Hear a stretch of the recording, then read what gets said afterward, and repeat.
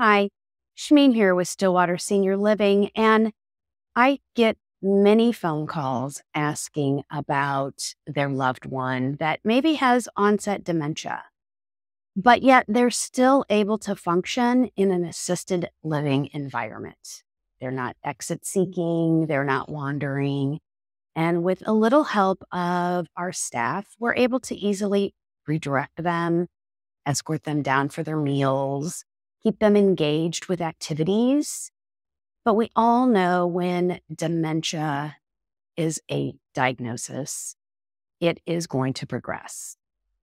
So we monitor. And if there's a decline, and now there are possible behaviors, they're needing a little bit more one on one attention.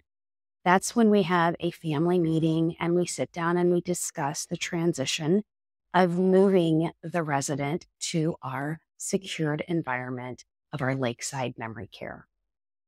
This is where it's a smaller environment and they get all of the needs that are met individually.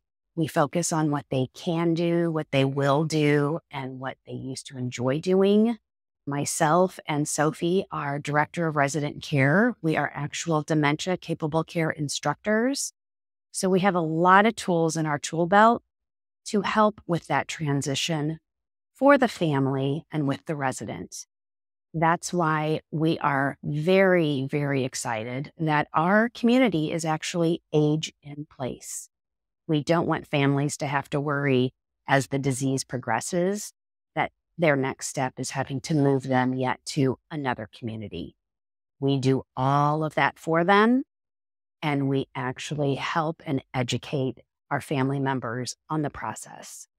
If you have more questions, visit our website at stillwaterseniorliving.com.